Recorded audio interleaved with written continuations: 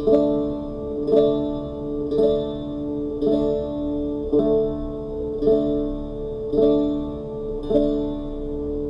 celebrate my wife's birthday with this new instrument, Merlin, made in Canada.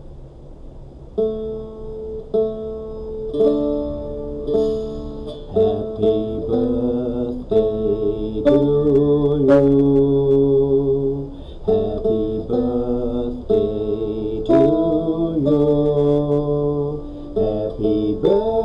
JJ. Happy birthday.